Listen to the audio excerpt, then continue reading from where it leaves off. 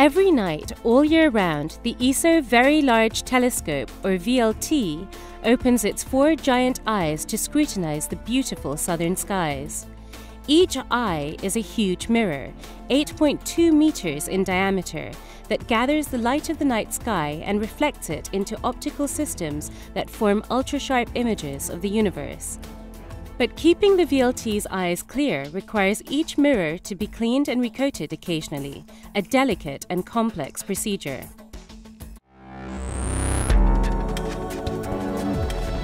This is the ESOcast, cutting edge science and life behind the scenes of ESO, the European Southern Observatory, exploring the ultimate frontier with our host, Dr. J, aka Dr. Joe Liske. Hello and welcome to the ESOcast. In this episode, we're going to follow the recoating of one of the VLT's primary mirrors. Although this happens quite regularly, this is far from being a routine procedure. Under the open sky, dust collects on the surface of the mirror. And although this layer of dust is very thin, it nevertheless degrades the quality of the astronomical observations.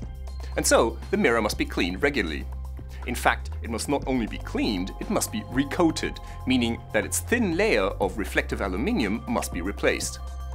The ESO technicians and engineers must work both quickly and carefully to complete this operation on the fragile 17 cm thick mirror in order to limit the telescope's downtime.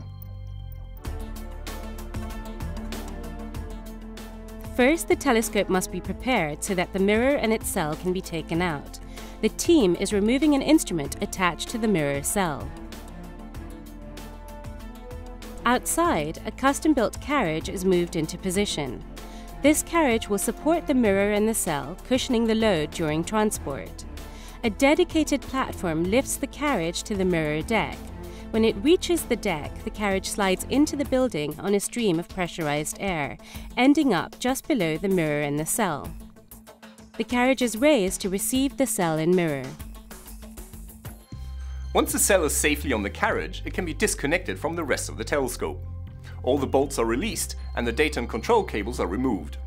Now this is always a pretty tense moment, and the team is working very carefully to make sure that they don't damage the fragile mirror.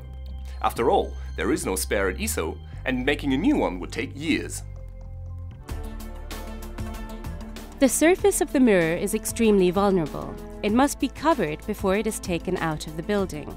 The cover not only protects the mirror, but also prevents it from concentrating sunlight and burning anything in its path.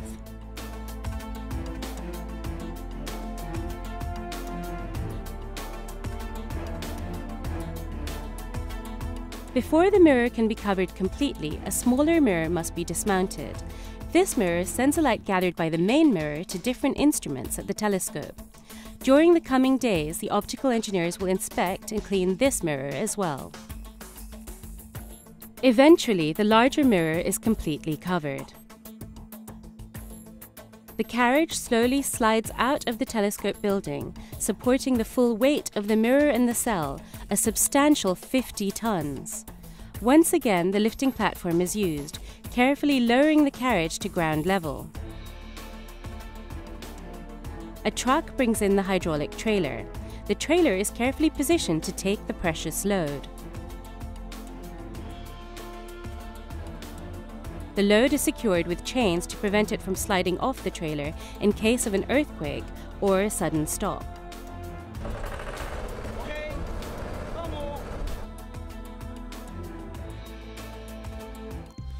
The team is now ready to start the trip down the mountain to the recoating plant. This journey is a crucial stage in the whole process. Before the mirror is brought out, the weather must be checked thoroughly. High winds must be avoided at all costs during the transit, because any flapping of the lightweight mirror cover might scratch the mirror. Furthermore, the truck driver is supposed to never apply the brakes, because an abrupt halt might be dangerous for the mirror. And so the truck moves along at a leisurely 5 km an hour. But even at this walking pace, it eventually arrives safely at the mirror maintenance building.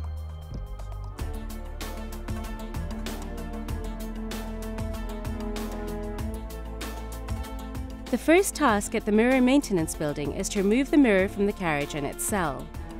The carriage is positioned under a custom-made handling tool. Brackets connect the mirror and the cell. Engineers have to release each one manually. This may sound like a routine job, but with the sensitive mirror surface only centimeters away, it requires the team's undivided attention. Forgetting to take off even one bracket could damage the mirror severely during the lifting operation. The team is only ready to lift the mirror off its cell after a triple check of every bracket. Hooks are lowered to bear against the back of the mirror and the handling tool lifts the mirror up and off the cell.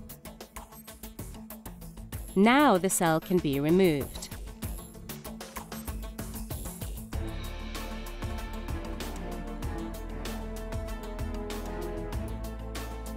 Subsequently, the mirror is lowered again to allow some work to be carried out on its back surface. Before the optical engineers start work on recoating the optical side of the mirror, they must clean its back surface by hand. This cleaning is essential as it removes oils, particles, and other contaminants that could damage the mirror in the vacuum chamber.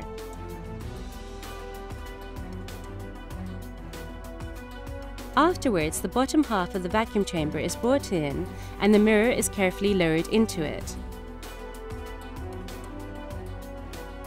The mirror is next taken into a clean room.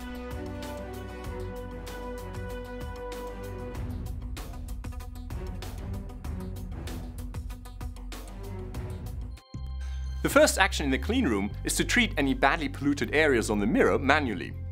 This requires a steady and skillful hand in order to avoid scratching the surface. The point of doing this is to remove any particles that might not be easily flushed away during the subsequent washing. Afterwards, the vessel holding the mirror is positioned in the washing chamber, where the old reflective coating of the mirror is washed off.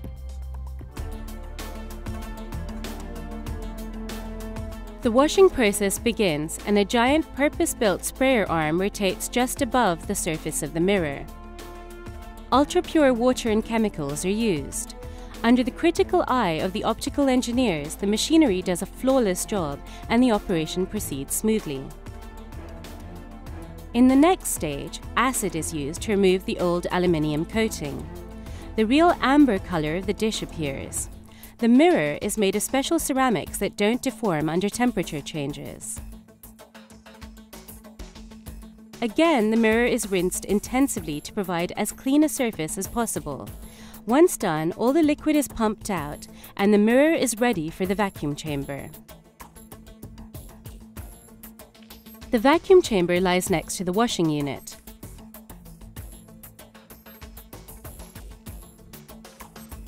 The mirror is placed in the chamber immediately after cleaning to avoid contamination with new pollutants.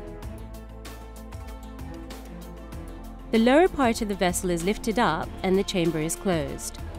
The air can now be pumped out to establish a nearly perfect vacuum necessary for recoating. Once the vacuum is established, the recoating can begin. The optical engineers use an electrically stimulated plasma for a molecular cleaning of the optical surface of the rotating mirror. Then, individual particles of aluminium are deposited on the mirror in a process known as sputtering deposition. This takes about half an hour. Only 12 grams of aluminium are used to create the new coating for the roughly 50 square meters of the primary mirror, and so the coating is only about 18 nanometers thick. It's really not a lot, is it? Finally, the moment of truth has come. Will the quality of the new coating meet the high standards of the VLT? Recoating a mirror is always a tricky business. If the mirror isn't thoroughly clean, or if the vacuum chamber is contaminated, then the coating will be flawed. Tension is high as the chamber opens and the mirror is brought out. A first visual inspection suggests that the recoating has succeeded. But what really matters is how reflective the mirror is, so the percentage of light the mirror reflects and scatters is measured. The result confirms a high reflectivity of the mirror, and the experts are fully satisfied. The recoating was successful and the mirror is all shiny and new again. Our team is now ready to take the mirror back up the mountain and reinstall it at the telescope. The VLT will be back in full operation exactly on schedule to provide astronomers with a superb view of our universe once more. This is Dr. J, signing off for the ESOcast. Join me again next time for another cosmic adventure.